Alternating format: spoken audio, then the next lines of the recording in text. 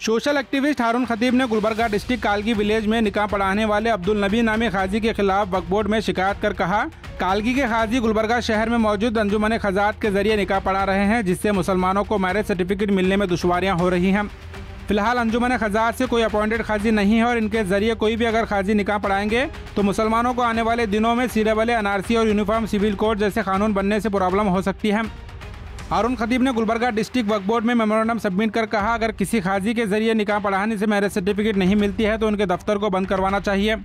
और साथ ही हारून खतीब ने तमाम मस्जिद के इमाम और खाजियों से गुजारिश कर कहा, जो कोई भी गुलबर्गा डिस्ट्रिक्ट में निकाह पढ़ा रहे हैं, वो लोग अपॉइंटेड खाजी के ज़रिए या फिर जिन मस्जिदों को निकाह पढ़ाने की इजाज़त मिली है, उनके ज़रिए निकाह पढ़ाएँ। और गुलबर्गा वक्फ बोर्ड के ज़रिए खासकर कालगी के खाजी के खिलाफ शिकायत दर्ज कराई गई है। मेरा नाम हारून खतीब है। मैं एक सोशल वर्कर हूँ। गुलबर्गा में अंजुमन खजायत के ज़रिए आतराफ तालुक़ों में निकाह पढ़ाया जा रहा है।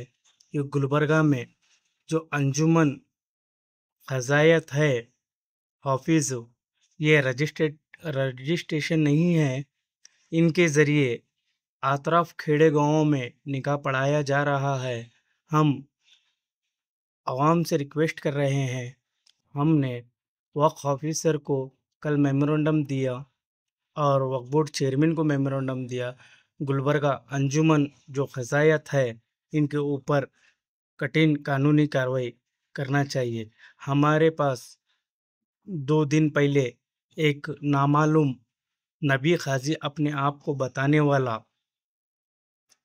ये अंजुमन खजायत के ज़रिए निकाहनामा गुलबर्गा से लेकर जाकर वहाँ कालगी तालुक़े में, आतराफ तालुक़ों में निकाह पढ़ाया जा रहा है।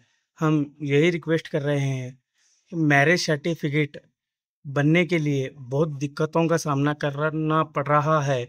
ये अपॉइंटेड खाजी नहीं है यह अंजुमन खजायत।